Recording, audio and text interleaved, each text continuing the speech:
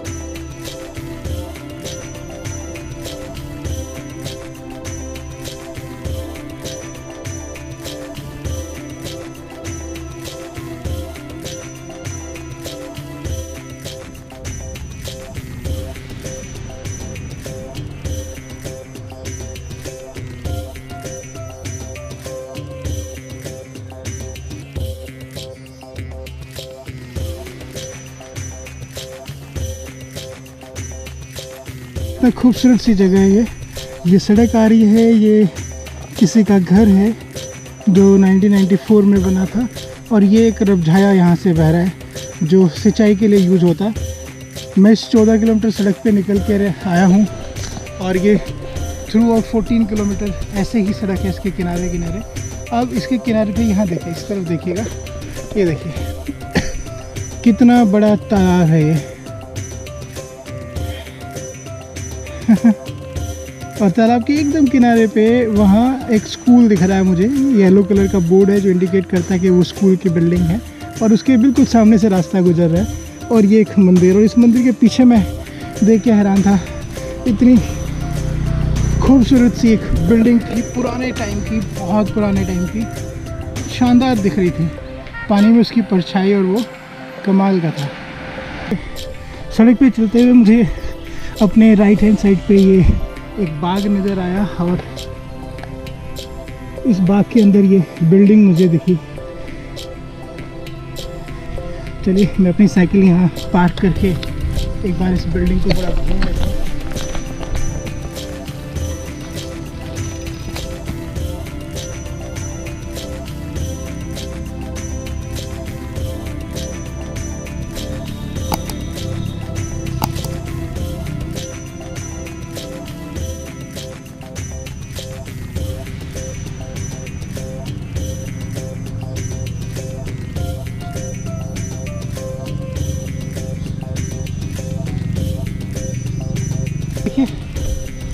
ये है वो पुरानी बिल्डिंग जिसे देखकर मैं इस तरफ़ मुड़ आया।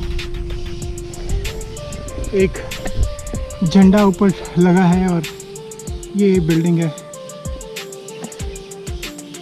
ईंटें बड़ी हैं तो ये 80s में बनी थी, अगर छोटी ईंटें होती तो ये बनी होती। एट, सिक्सटीज, सेवेंटीज़ में। तो ये देखिए। इस तरह की मेहराब वाली छत, ये तीन मेहराब बना के बीच में ये करके, ये पुराना हमारा आर्किटेक्चर है और एक ये यूपी की यूपी की भाषा में हम इसे कानिस कहते हैं। कानिस आपने मेरे मामा जी के और बाकी गाँव में भी देखी है, घरों में बनी हुई। ये चिमनी का कॉन्सेप्ट ऐसा है नहीं हमारे यहाँ। इसी जगह पे मैं देख रहा हूँ। और ये देखिए किस तरह की बिल्डिंग है। Look at this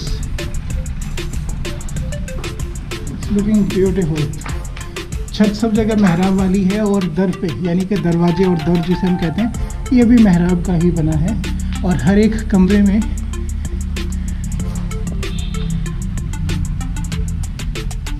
ये है, एक छोटा सा चिमनी जैसा और ऊपर एक डेकोरेशन के लिए सामान रखने के लिए। और ये आले, हम इन्हें आला बोलते हैं, वो रोशनदान। ये सामने दो कमरों से निकल के जब बाहर जाएँगे तो बैठक और देखिए कितना खुला डुला शायद ये दरवाज़ा नहीं, खिड़की रही होगी बाहर के एरिया में देखने के लिए। कभी यहाँ लोग बसते थे। आज ये खंडर है। ऐसी जो बिल्डिंग्स हैं, अभी जैसे हमारे गाँव में भी एक हवेली है, वो बिल्डिंग एक्चुअल में नहरवाई के दफ्तर हुआ करते थे। नहरवाई का कॉन्सेप्ट है कि अंग्रेज़ों के टाइम में वोटर डिलीवरी सिस्टम को चैनलाइज किया जाता था और उसके लिए बाकायदा नहर डिपार्टमेंट थे और उन लोगों के नहरवाई के दफ्तर इस तरह से बनाए जाते थे। कुछ ऐसा ही आ, मेरे गाँव जड़ोदा में भी है जहाँ पर कहा जाता है कि जब अंग्रेज़ों को भगाया जा रहा था तो वहाँ पर भी एक बहुत बड़ा कांड हुआ था। गाँव के लोग सब नहरवाई के दफ्तर में पहुँच गए थे। और पहुँच कर उन्होंने वहाँ के सब अफसरों को मार डाला था और कहा जाता है कि उनकी उनकी आत्माएँ आज भी वहाँ भटकती हैं। तो उस जगह, दिन में और रात में कोई भी नहीं जाता है। एकदम अबंडेंट है। वहाँ भी इसी तरह के पेड़ हो गए हैं, बहुत सारे। देखिए, कुछ ऐसा ही कंस्ट्रक्शन वहाँ है, कुछ ऐसे कंस्ट्रक्शन वहाँ है और ये एक चकोर रास्ता है जो उन सबको आपस में कनेक्ट कर रहा है। यूपी में नहरवाई के इस तरह के दफ्तर काफ़ी ज़्यादा आपको देखने को मिलेंगे। तो चलिए, यहाँ से अब निकलते हैं। मेरी एवरेज स्पीड सिर्फ़ और सिर्फ़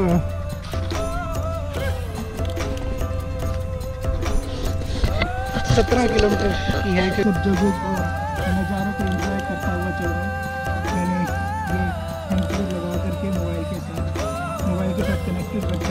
मुझे रूट के बारे में ये बोल कर बताता रहे और मुझे बार बार उतर कर साइकिल से चेक ना करना पड़े कि मैं कितना दूर आ जाए ये मेरा चेस्टी है। बहुत सारे शॉट आपने इसी एंगल से देखे हैं इसमें मेरा हैंडल और ये दिख होगा।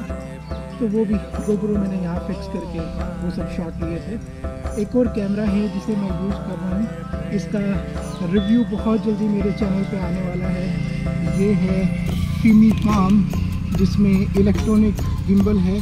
मैं पिछली इस ट्रिप के दौरान ही इसको काफ़ी ज़्यादा स्क्रैचेस दे चुका हूँ मेरा हैंडलिंग करना इक्विपमेंट्स को बहुत रफ टफ होता है और वो इस कैमरे पे इतनी जल्दी नज़र आना शुरू हो गया है। ये दो तीन बार गिर चुका है। आई होप कि सब ठीक होगा। और बच्चे भी थे गाँव में जो इसे ऑपरेट कर रहे थे। तो मैंने तो दिया हुआ था कि चला ले चलिए, मेरे ख्याल से अब बढ़ना चाहिए। आगे की तरफ़। मेरा मंजिल है सहारनपुर फिर यमुनानगर और वहाँ से होते हुए चंडीगढ़।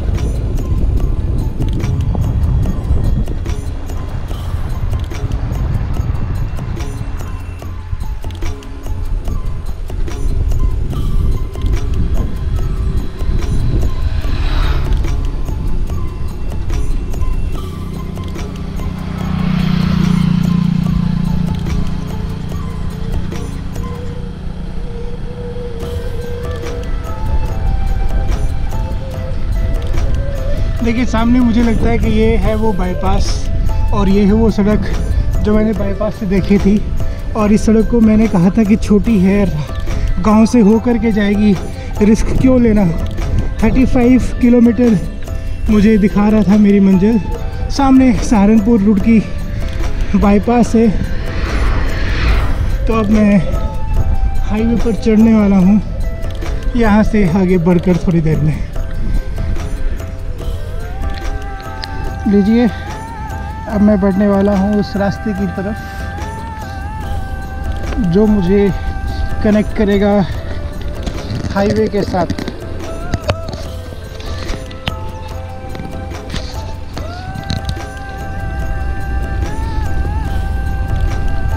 मैंने अभी तक मैप में चेक नहीं किया है, पर मुझे लगता है कि यही है। तो देखते हैं। थोड़ी देर बाद मैप भाई साहब क्या बोलते हैं।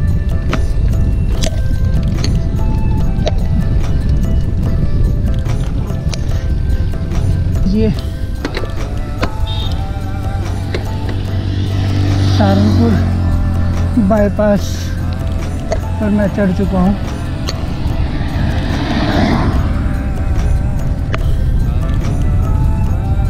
ओके।